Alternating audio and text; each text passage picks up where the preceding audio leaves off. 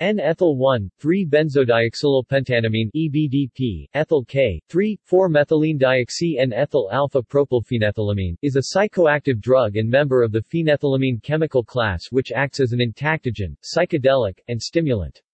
It is the N-ethyl analog of 1,3-benzodioxolylpentanamine BDP, K.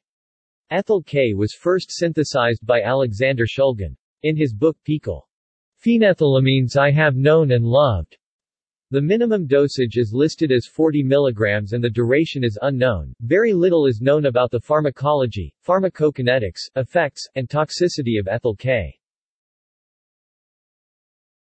Legality United Kingdom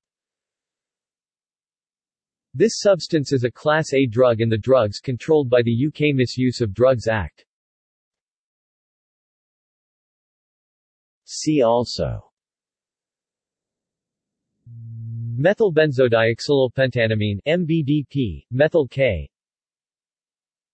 Ethylbenzodioxolylbutanamine EBDB, ethyl J. Ephylone beta K ethyl K.